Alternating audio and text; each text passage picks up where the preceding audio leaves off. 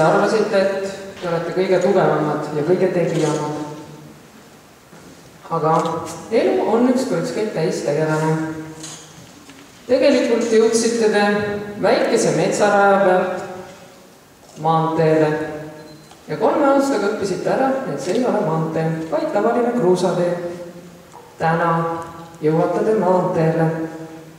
aga see ei ole veel päris kiirtee. Ja te õpitegi, te õpite terve elu, et kogu elu on tee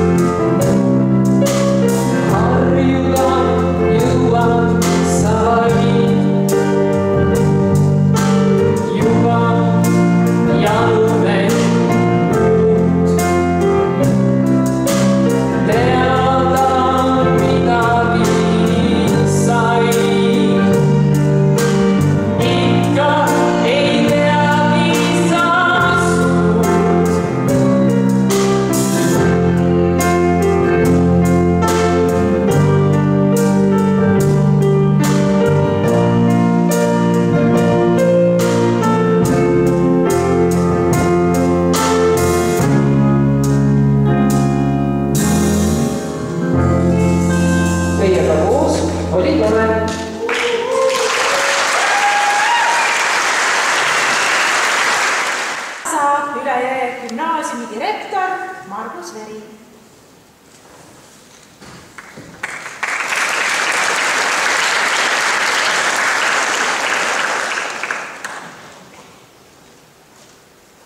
Roonalt tehti, kas teen siin ilustatud varianti või nii nagu on? nii nagu on. okei. austatud abilinnapea, lapsevanemad, vanavanemad, sugulased, sõbrad, õpetajad, kallid lõpetajad kontserte külastades kuuleme artisti suust sageli seda, et just see publik on kõige parem ja kõige erilisem. järgmises kontserdipaigas kordub sama jutt. selle aasta aktus on paljude eelnevate hulgas mulle isiklikult kõige erilisem. tänased gümnaasiumi lõpetajad olid esimesed, kellele ma alustava direktorina kaksteist aastat tagasi, esimesel septembri aktusel aabitsa andsin. Nende esimeste aabitsa saajate seas oli ka mu enda pesamuna, kes nüüd juba gümnaasiumi lõpetab. minu ja kindlasti ka saalis viibijate poolt vaadates on aja kulgemise kiirus hoopis suurem, kui seda on lavalistujate poolt vaadates. Teid kõiki, armsad lõpetajad, koos vaadates ja üldistusi tehes võin öelda, et teie üheks läbivaks iseloomujooneks on ratsionaalsus, seda just õppetööd silmas pidades. ühest küljest on ju ratsionaalsus hea, võimalikult vähese energiakuluga tulemus saada. teisest küljest, kui just nii palju pingutada, et asi kuidagimoodi ära teha, jääb teil avastamata enda tõeline potentsiaal, see, milleks te tegelikult võimelised olete. no siinkohal võivad ju Kristiina, Kaidi ja Tarmo protesteerida. Nende pingutusi õppimiseks ei saa küll energiat säästvaks pidada. kuldmedali saamine meie koolis ei ole kerge. iga viis tunnistusel on suure töö tulemus. ja meie koolis viis ongi viis. nii nagu varasematel aastatel, on ka selle aasta medalistide riigieksamite tulemused väga kõrged. Kõigi eksamite keskmine kaugelt üle kaheksakümne punkti. see, millisele kohale tänane lend oma riigieksamite tulemuste põhjal Eesti koolide arvestuses positsioneerub, selgub suve lõpul. punktisaagilt jäi teil eelmise lennu tulemus ületamata. täna on punktidest ja hinnetest siiski olulisem see, millised inimesed on teist saanud millised on need väärtused, mida te nüüd endas kannate. võite olla rahul ja isegi uhked, sest inimlike väärtuste õppetükid on teil hästi omandatud. olete hoolivad ja abivalmis, mõistvad ja vaimukad, töökad kui eesmärk silme ees, energilised, head suhtlejad. väga kõrge hinde olete välja teeninud kõigi oma esinemistega erinevatel kooliüritustel millised andmed. Traditsiooniks on saanud, et loen aktusel ette ka klassijuhatajate koostatud tekstid, milles on siis kirjeldatud teile kõige iseloomulikumaid iseloomuomadusi. ja nüüd siis tähelepanu kaksteist A õpilased ja sugulased ja tuttavad, kuulake, kellega meil tegemist on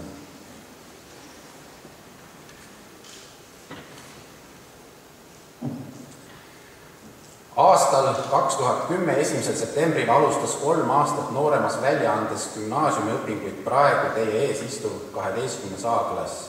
koos on õpitud ja tegutsetud, tegutsenud seitse muusikut ja kakskümmend kaks humanitaaralu õpilast.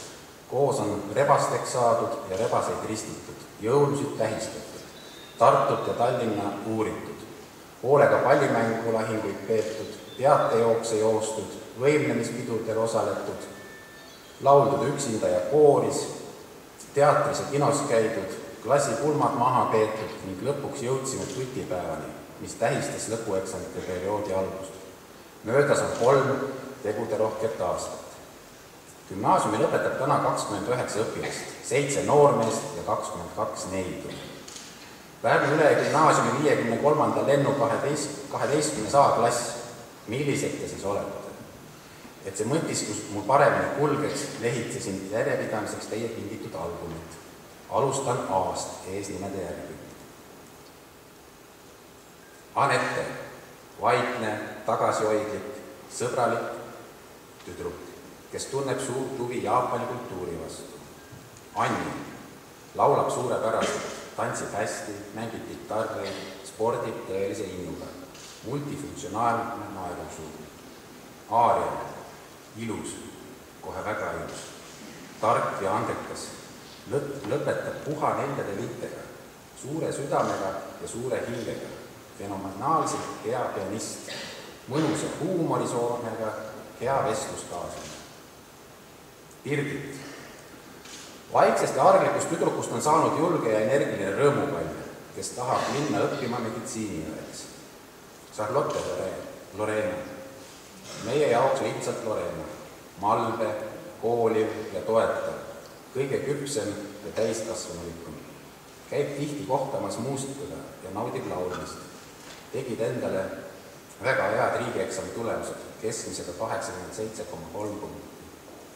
Heleriin, rõõmus, pisike tütarlaps, naer ja Heleriin, seda on kõik vahetunnid täis. Helen, pikk sinisilmne tüdruk, rahulik ja tasakaalukas, tark ja nutikas, lõpetab neljade viitega. Inglise keele riigieksami parim tulemus üheksakümmend viis punkti.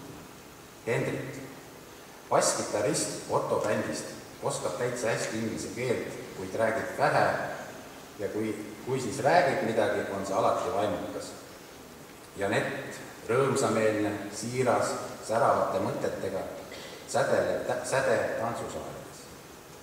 Kaidi, täna kullakarvaline tüdruk, klassivanem, tubli ja hakkaja igal rindel. sinu peale võin alati loota, abivalmis ja hoolitsev võrkpallitüdruk. Roberti silmarõõm ja Kristiina varim sõbranna. Karoliina, meie oma liide Koidula, emotsionaalne etleja, luulekonkurssidel ning kõnevõistlustel. sinu tulevikumõtted käivad teatri suunast, ennastsalgav ja väga iseseisev. Kevin, jalgrattas ja Kevin, need on lahutamatud, hoolitsev, vastutulelik ja tähelepanelik noor mees. klassi pulmas pidasid sa unustamatu kõne peigmehena.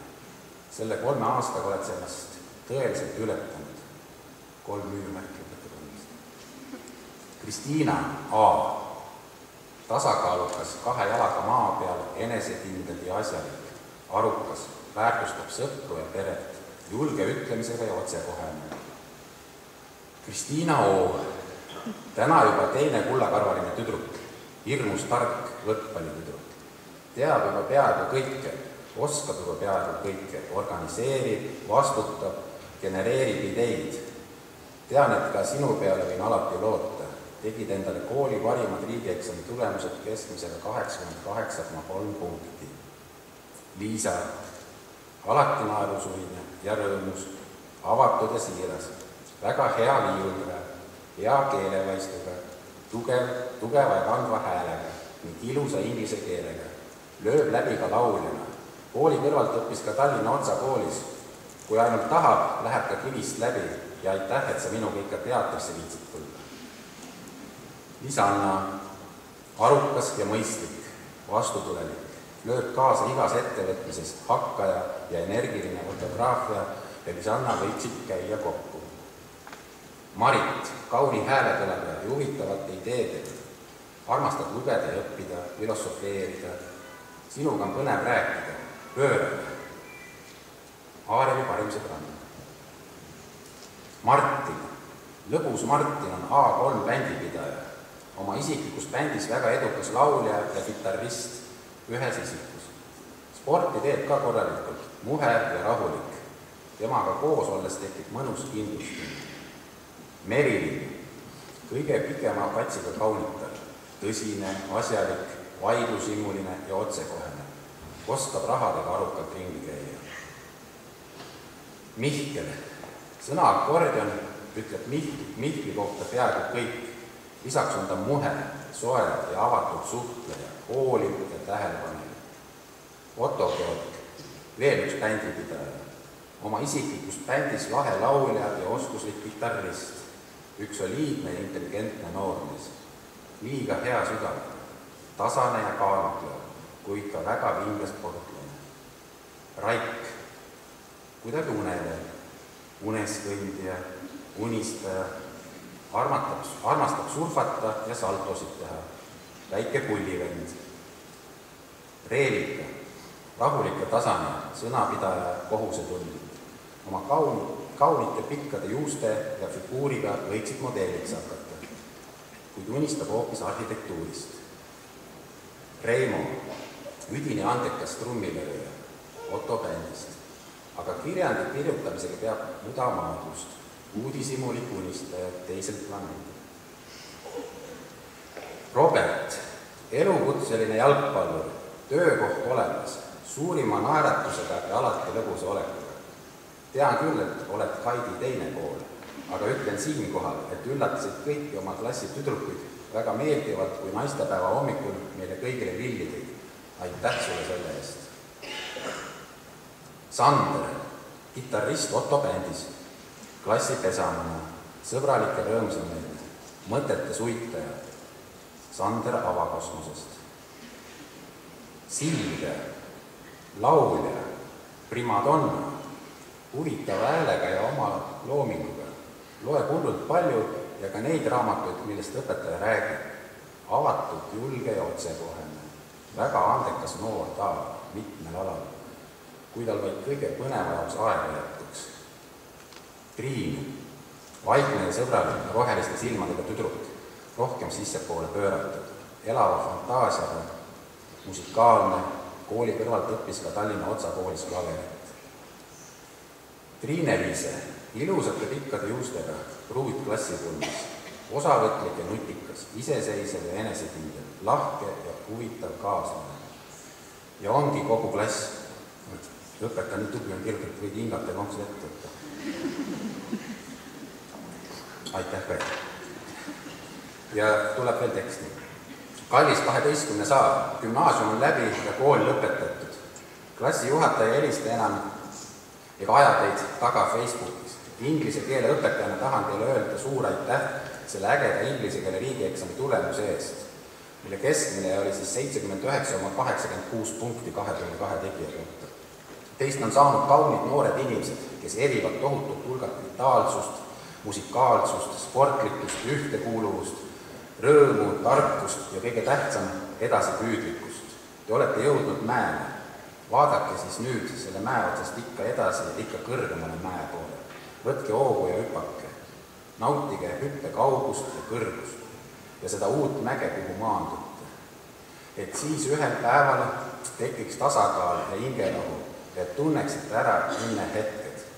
meie aeg koos on otsa saanud, kuid minu käes on midagi täiesti ehtsat ja reaalset, mis tuleb avada ja ette lugeda viie aasta pärast suvel. Need on teie kirjad täiesti ehedal kujul. jään seda kohtumist ootama. olge terved ja mõnusad, teie õpetaja Kai.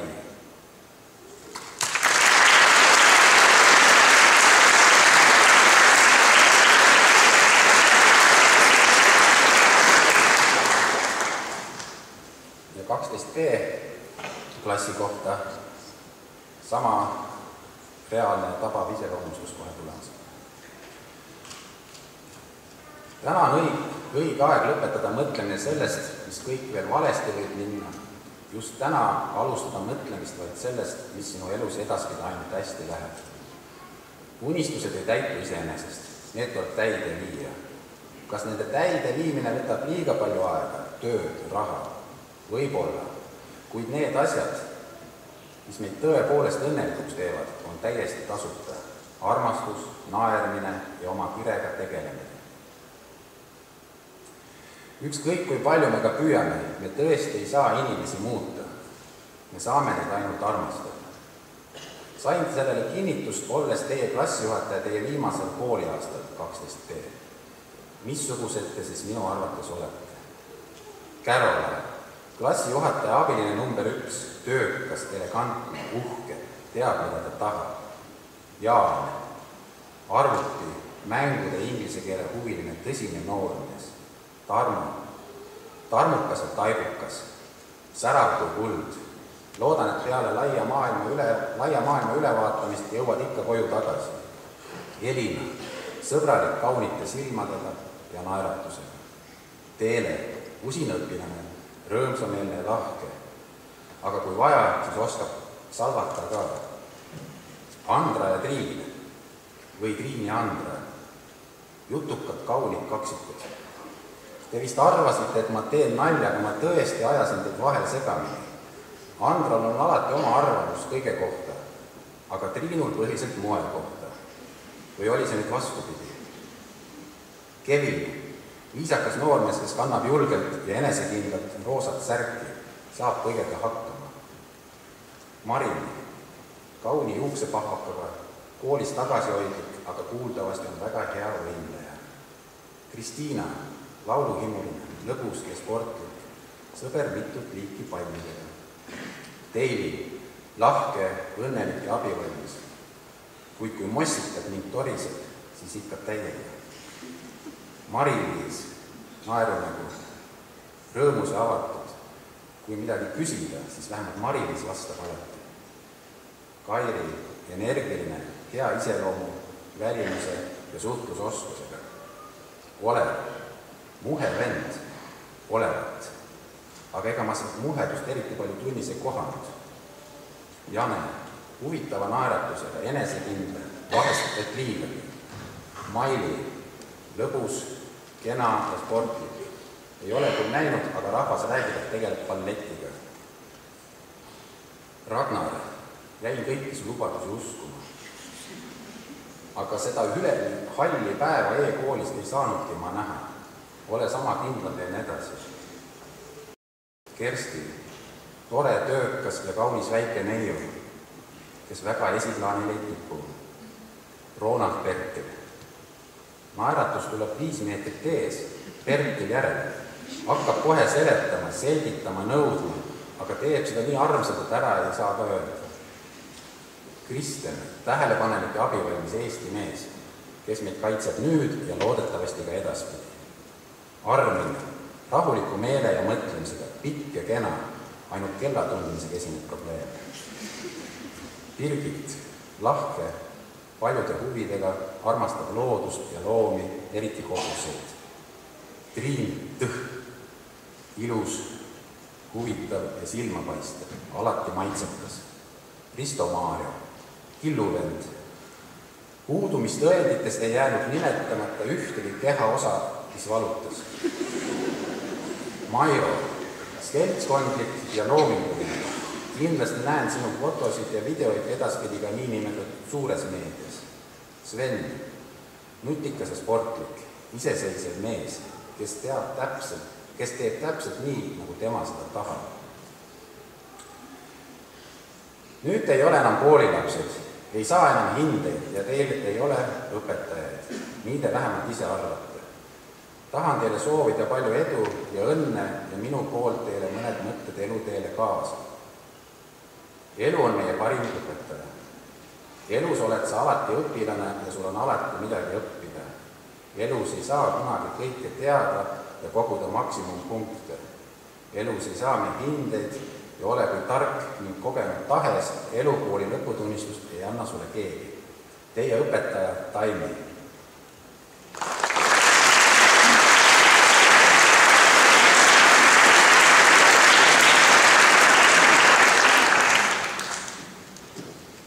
nagu klassijuhatajate koostatud iseloomustustest selgus, on paljudel teist mingi unistus, eesmärk, kuhu poole püüelda. mingis mõttes vabanete nüüd koolist lahkudes justkui turvalisest kookumist, mis on teid hoidnud ja kaitsnud. on ju õpetajad teid parasjagu koputanud ja ebaõnnestumiste puhul lahkelt uusi võimalusi pakkunud. homme, kui asute oma eesmärgi poole püüdlema, avastate, et on palju teisi, kellele meeldib just seesama koht, mille oled endale sina valinud, kisub võistluseks. üks õpetlik lugu teile ka tulevikuks. kord läks üks uustulnukas vigu laskmist õppima. Õpetaja otsustas kõigepealt tema oskusi kontrollida. uustulnukas võttis kaks noolt ja valmistus laskma. õpetaja vangutas pead ja lausus, ära kunagi võta kahte noolt. kui sa loodad teise noole peale, siis suhtud sa esimesse hooletult pea alati meeles, et sul on vaid üks katse ja sa pead ainsa noolega märki tabama. head lapsevanemad, õpetajad ja kõik lähedased, ilma teieta ei oleks tänast aktust, rõõmustage. Andmisrõõm on ju kõige suurem rõõm ja olen veendunud, et peagi hakkavad tänased koolilõpetajad rõõmsalt vastu andma. teadmine, et neil hästi läheb, et nad õnnelikud on, ongi suurem kink, mida tahta. ja lõpetuseks, kallid noored, soovin teile suurelt unistada ja tahta. Tammsaare on öelnud, te ei julge, tähendab, teil pole tahtmist. tahtmine annab julguse. olge julged, head teed. Lõpetajad, meie ühine koolitee hakkab ühele poole saama. tänane üritus on meie kõige viimane ja kõige pidulikum. Teie seas on väga palju andekaid muusikuid, kes on meie erinevaid kooliüritusi kaunistanud. täna saate veel viimast korda esineda kui meie kooli õpilased ja teie ette astub andekas ja särav akordionist Mihkel Ojats ja ta esitab teile tango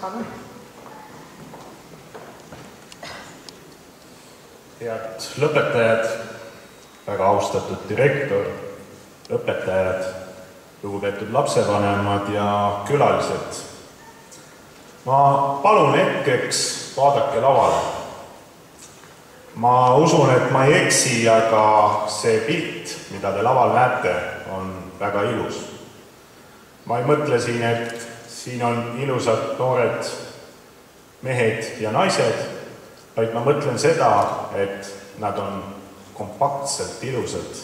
Neist kiirgab teadmisi, kogemust, julgust ja ma usun, et see kiirgus säilib neil ka kahekümne või viiekümne aasta pärast. lõpetajad, täna on teie elus väga eriline ja pidulik päev. hinge poeb kindlasti ärevus, ärevus tuleviku suhtes, võib-olla ka nukrus, koos veedetud aeg on olnud ilus ja pikk. ja samas ka pingelangus, nüüd on see kõik siis selja taga. olete olnud tublid, kes rohkem ja tema pärletakse kulla või hõbedakarva medaliga. kes vähem, tema peab leppima diplomiga.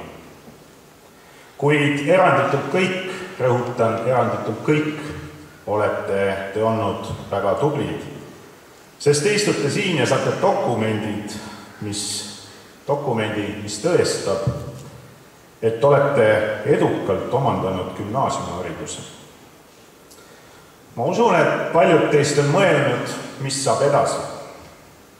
Te olete teinud plaane, mida teha viie, kümne ja võib-olla mõned on mõelnud ka, mida teha kahekümne aasta pärast. mida oskan soovitada teile mina? võib-olla on minu soovitused liiga vanameelsed, sest lõpetasin gümnaasiumi kakskümmend viis aastat tagasi ja nüüd sellele hetkele tagasi mõeldes võin soovitada teile kindlalt vaid kolme asja. olge julged ja unistage suurelt. hinnake aega ja oma sõpru ning vanemaid, koolitage end. ma võin käsi südamel tunnistada, et keskkoolipäevil ei unistanud ma linnajuhtimisest. unistus oli hoopis väiksem, saada sõjaväelaseks. täna saan öelda, et see väiksem unistus on täitunud. olen Kaitseliidus tegutsev reservohvitser. kuid oleks ma kaheksateist aastat tagasi jäänud selle ainsa unistuse juurde ei saaks ma täna endaga rahul olla. seega minu mõte on selles, et tunnistage julgelt, olge ambitsioonikad ning mingil ajahetkel teie unistused täituvad. hinnake aega, et hiljem mitte kahetseda mõttetut raisatud aega. täna noortena tundub loomulikult, et elu on igavene kuid võib-olla kahekümne aasta pärast võib olla teil kahju sellest ajast, mis te olete tühiselt sisustanud ja elamiseks antud aega ei ole võimalik kuidagi pikendada või juurde osta, vähemalt tänasel päeval mitte. hinnake oma sõpru, vanemaid ja õpetajaid, sest just nemad on näidanud teile tee kätte tuleviku poole ja rajanud selle aluse, mis võib olla teie edu võtmeks. kolmas, ärge peljake haridust. käega löömine on imelihtne. raskem on pidevalt õppida, end täiendada. võimalikult lai ja erinev haridus avaneb teil hoopis laiemad valikuvõimalused ja võimalused olla edukas ja linna esindajana pean ma vajalikuks meenutada, et ärge peljake ka oma kodulinna. minge kindlasti edasi õppima Tartusse, Tallinnasse, välismaale, võib-olla ka rändama, aga tulge Pärnusse kindlasti tagasi. Pärnu vajab teid, head noored. vajatakse õpetajaid, arste, advokaate ja ärimehi tänased õpetajad, arstid, advokaadid ja ärimehed jäävad mingil hetkel vanaks ning ootavad uut põlvkonda end asendama. võite küll mõelda, et siin linnas on elada nõme ja siin pole midagi teha, aga uskuge mind, pole paremaid inimesi muutmaks linna mitte nõmedaks või põnevaks, kui te olete ise head õpetajad, olete andnud endast kõik, et tänased lõpetajad saaks olla edukad ilmakodanikud, seda nii kümne, kahekümne kui viiekümne aasta pärast. nüüd võime öelda, et kogu edu võti on nende endi kätes. suur ja siiras tänu teile selle eest ja võib-olla kõige suuremat tänu äh, väljendab teadmine, kui te näete oma õpilast kümne või kahekümne aasta pärast ja näete, et nad on kasvanud edukateks ja väärikateks ühiskonnaliikmeteks. head lapsevanemad, tänud teile laste väärikateks kodanikeks kasvatamise eest.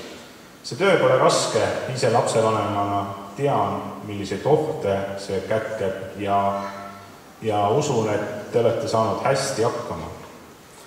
Linnavalitsuse nimel soovin veel kord palju õnne ja edu edaspidiseks lõpetajatele, õnne vanematele ja veel kord siiras tänu direktorile ja õpetajatele tänase päeva puhul lõpetamise. aitäh!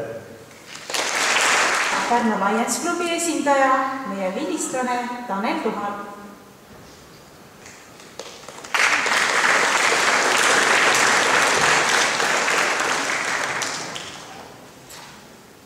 austatud lõpetajad, koolipere viibijad.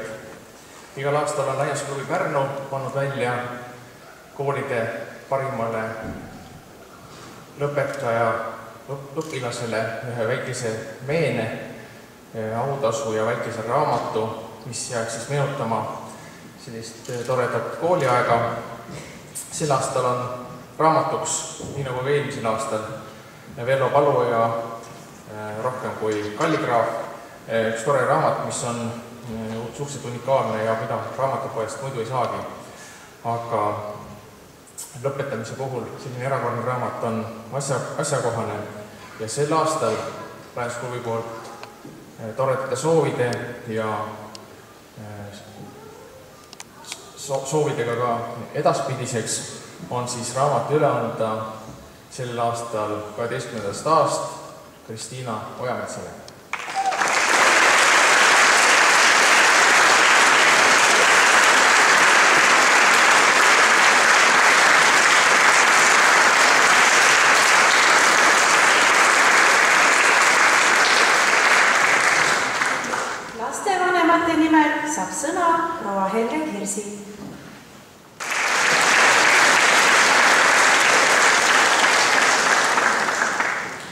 head lõpetajad, õpetajad ja külalised.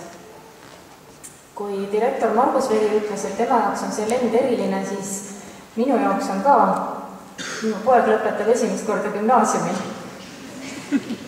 ja nagu ütles äh, Koidula kooli matemaatikaõpetaja Arvo Press, et äh, gümnaasiumi lõpp on eriline lastevanematele veel sellepärast, et me jääme nüüd ilma sellest igakuisest üheksateist eurosest toetusest.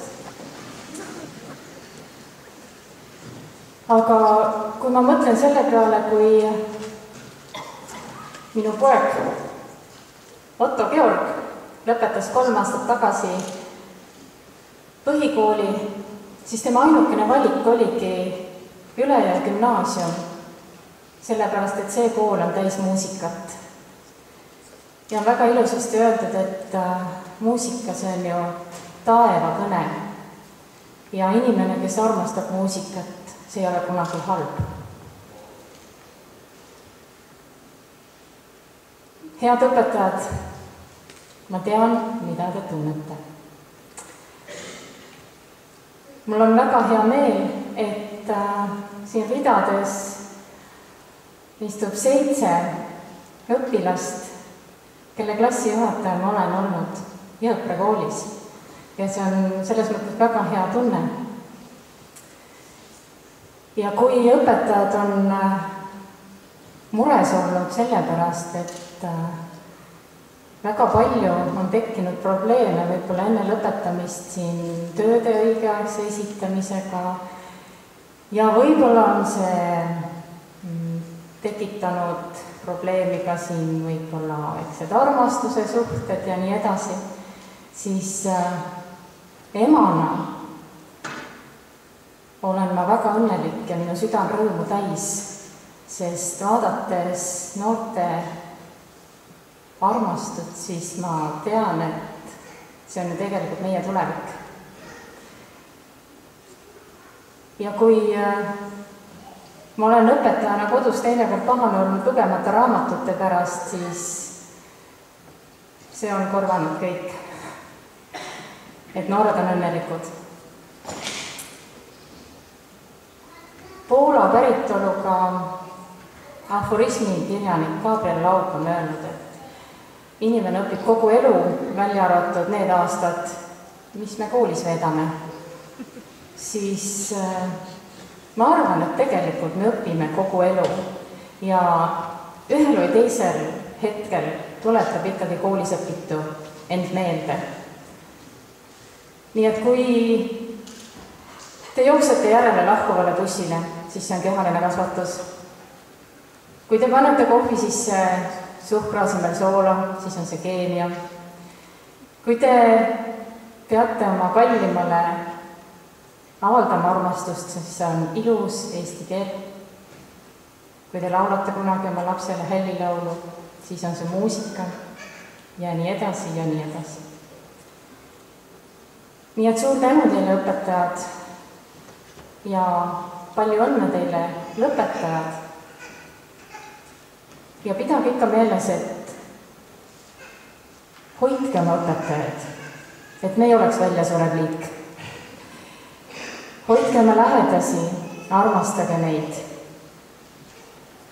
olge ausad, ka siis, kui te lähete poliitikasse. ja pidage meeles, et tervislikud valikud teie elus on need, mis teevad teid päriselt õnnelikuks ja otse loomulikult, kui te lähete laia maailma, siis pidage meeles, et varem või hiljem tulge ikka tagasi. Esiteks sellepärast, et meie, teie vanemad, ootame ja vajame teid.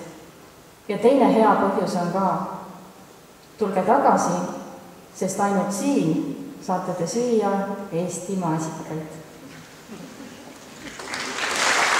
tervitada rõõmustab meid lõpetaja Silvia Põder, kes esitab teile täiesti enda tehtud loo. ja selleks on Blue Birds. Palun, Silvia.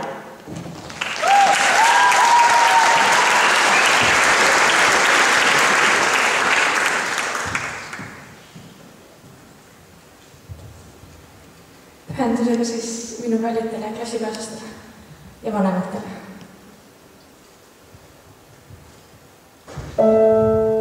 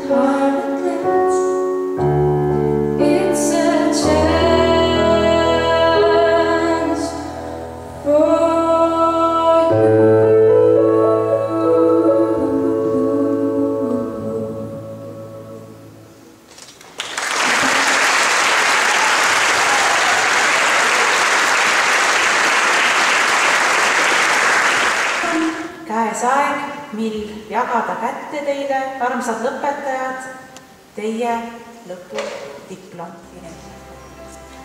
loen ette direktori käskkirja kakskümmend üks juuni kaks tuhat kolmteist, number viiskümmend kaheksa. gümnaasiumi lõpetamine. väljastan gümnaasiumi lõputunnistused järgmistele õpilastele ja arvan nad välja alates tänasest kooli õpilaste nimekirjast. kaksteist A-klass, palume siia klassijuhataja Kai Kõks ja kuldmedaleid üle andma Pärnu abilinnapea Rome Kosenkraanis,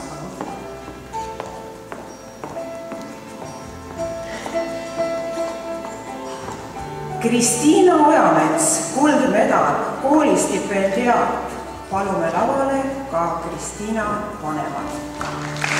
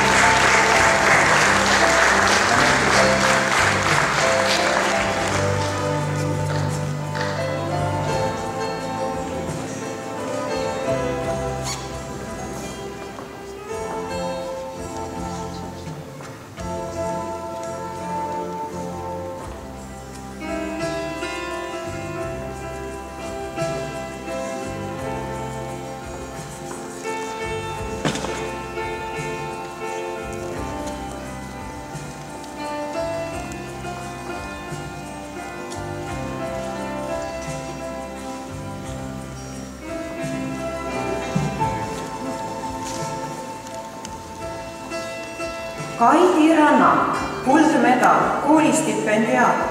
palume lavale ka Kaidi vanemad.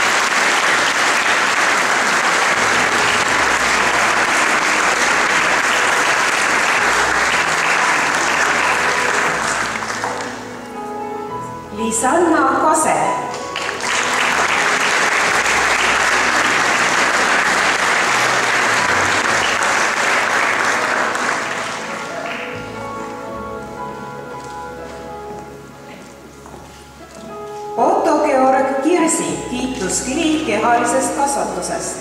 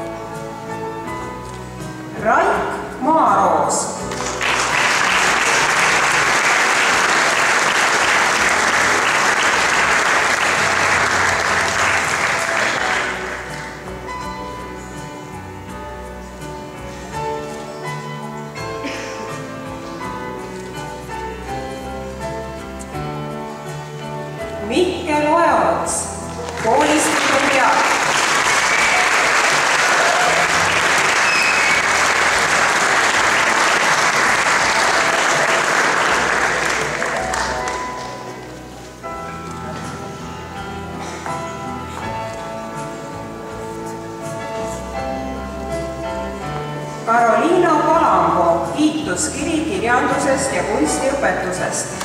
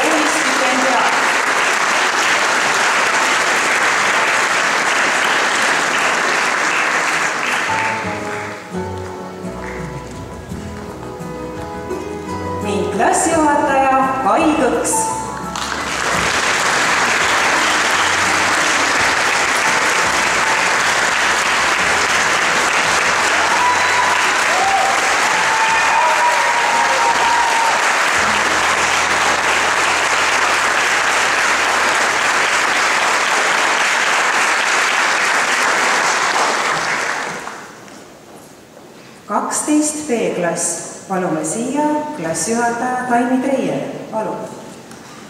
ja palume ka kuldmedali üleandmiseks taas lavale abilinnapea Romek Kosenkraanise. Tarmo Tulinets, kuldmedal, koolistipendiaat, palun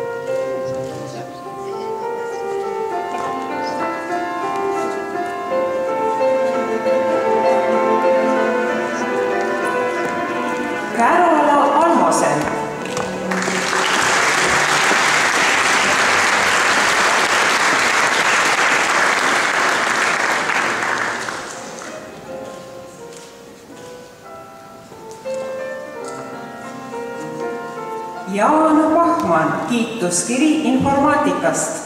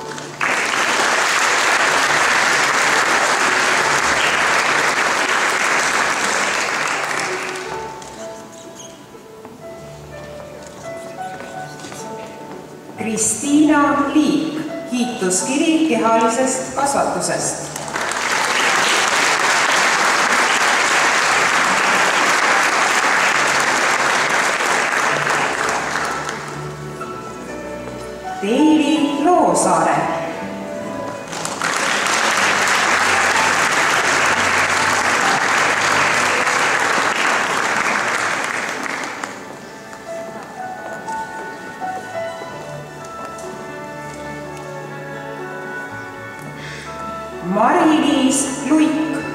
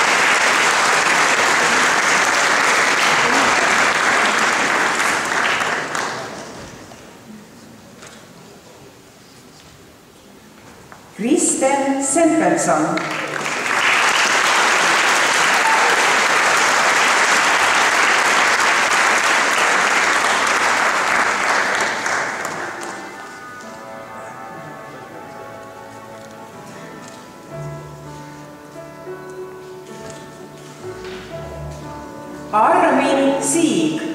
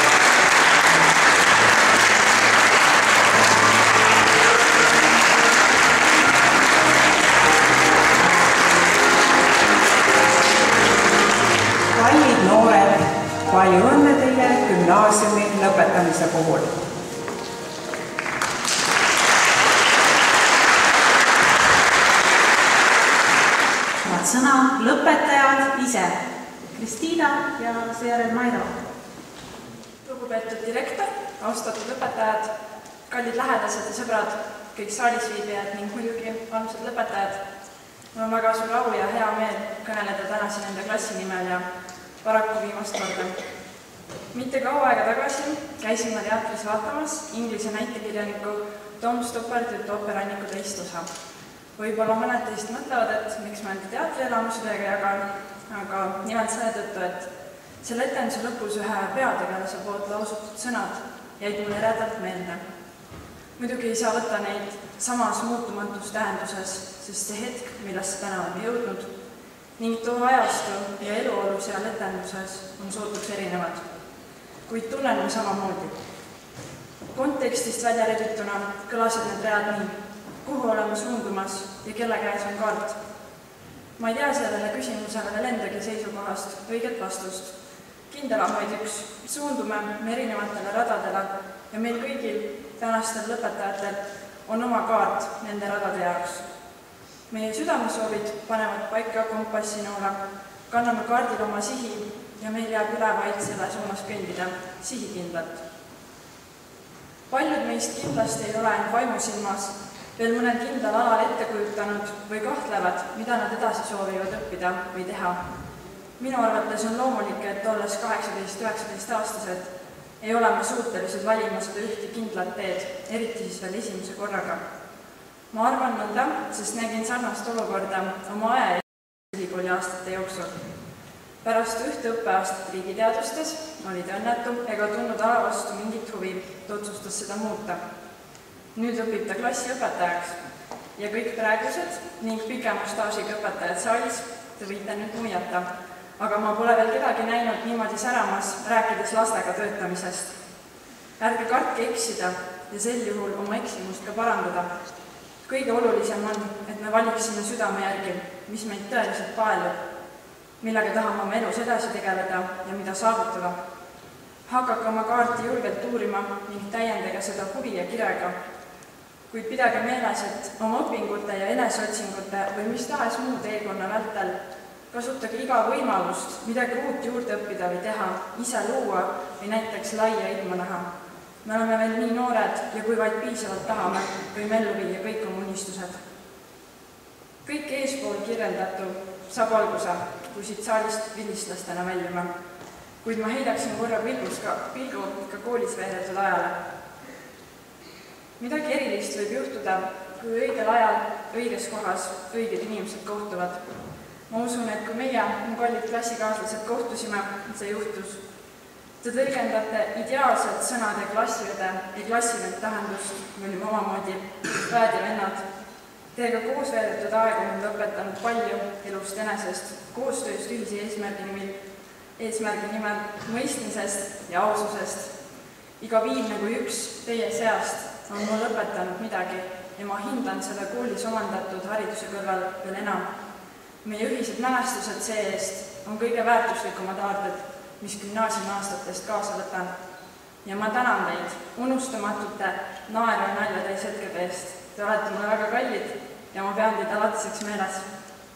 mõistagi soovin tänada kõiki õpetajaid. Te pole mitte ainult austatud pedagoogid, vaid ka inspireerivad isiksused ja kindlasti muutsite enamus meie koolipäevadest meeldejäävateks ning huvitavateks. Teie töö väärtust ei saa sõnadesse panna ja seega mina, nii noor inimene, ei hakka seda hetkel ka proovima. kirjeldamatul hulgal tänu lähedastele ja sõpradele, lihtsalt selle eest, et meil niivõrd olulise eluetapi jooksul olemas olete olnud, muud polegi tarvis. niisiis, ma loodan, et ma ei vuristanud, aga ma jõudsin kuidagi kähku lõppu. nautigem suve ja väljateenitud puhkust, kuid seejärel haarakem oma kaardid ja kompassid kaenlasse ja asugem uuele põnevale teekonnale. samal ajal meeles pidades Beverly Sillsi sõnu, et ühtki kohta, kuhu on mõtet minna, ei vii otseteed. Palju õnne Pärnu Ülegümnaasiumi viiekümne kolmanda lennu lõpetajad, aitäh!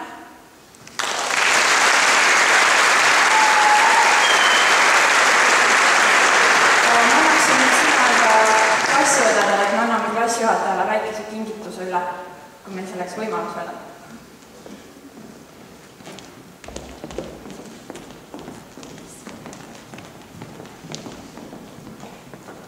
Tahaksime nüüd paluda siia lavale kõige tähtsama inimese meile siin koolis, meie klassijuhataja Kai Kõks. ta on olnud selle kolme imelise aasta jooksul meile nagu teine ema ja kõige suurem toetaja. ta on jaganud kõiki meie muresid ja rõõme ning tänu temale oleme me praegu siin selles rõõmsas hetkes. kallis Kai, you are forever in our hearts.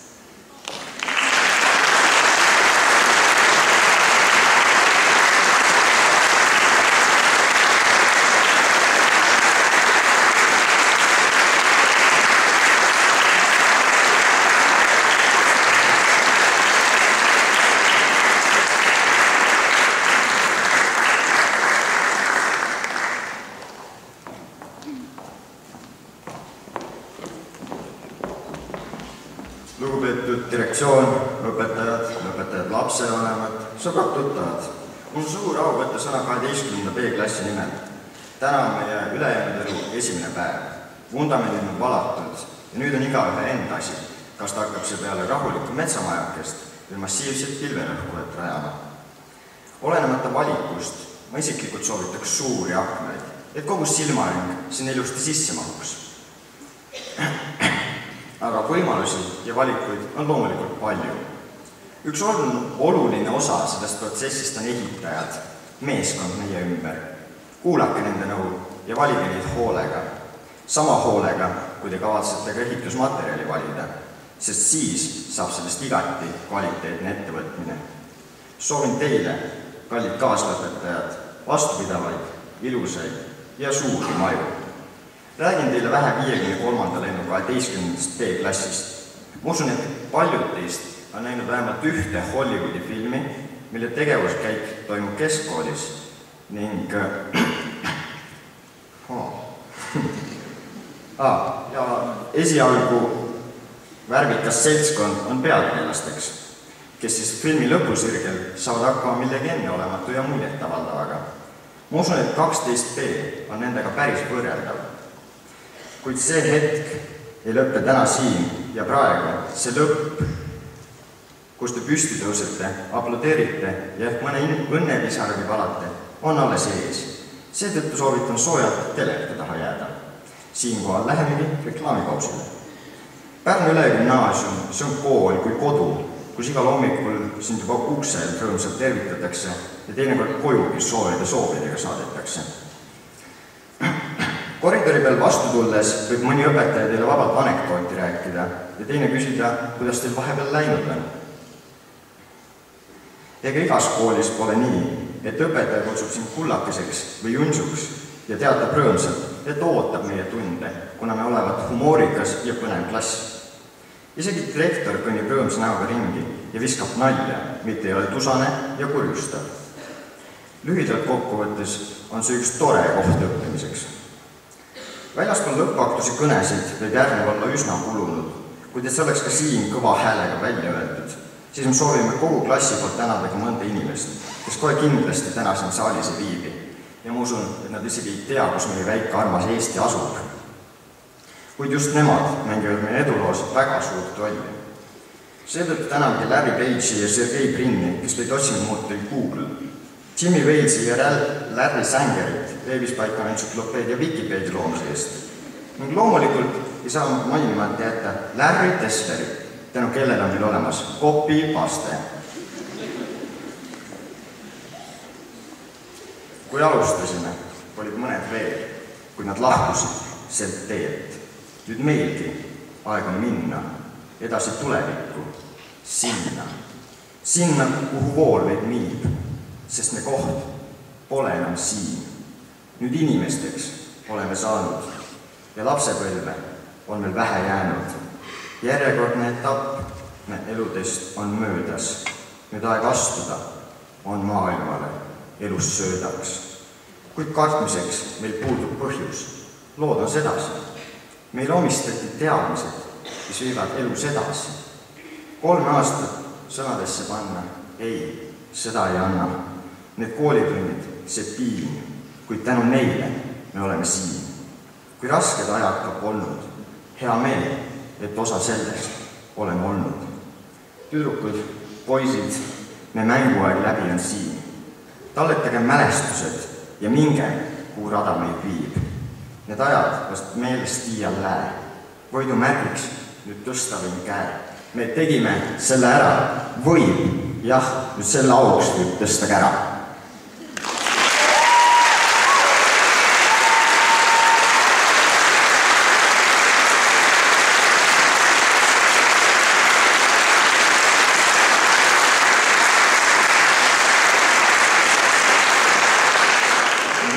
sooviksin kutsuda ma lavale Margit Roometi, meie esimese klassijuhataja, kes oli meiega kaks aastat. Ja tänu ja seisis meie eest algusest lõpuni ka rasketel aegadel.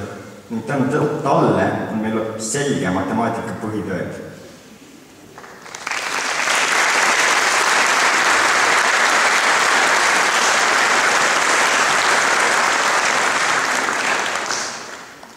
ning samuti soovime tänada kallist õpetajat Taimi Treierit, kes meid edukalt tänasesse päeva on aidanud ning mida me teeks ilma HTML-i ja Excelita.